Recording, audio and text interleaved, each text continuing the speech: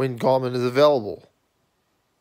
This is a Friday, week one ALDS, day one ALDS and LDS.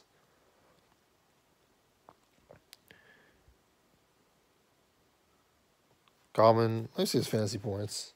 He's very good. Um, he'll have to play against the Minnesota Vikings, which shouldn't be a problem. Matthew Berry is very unoptimistic. He got 21 fantasy points this week. One last week. Uh, last week, only one the week before. Me double check here. Chris was one of that.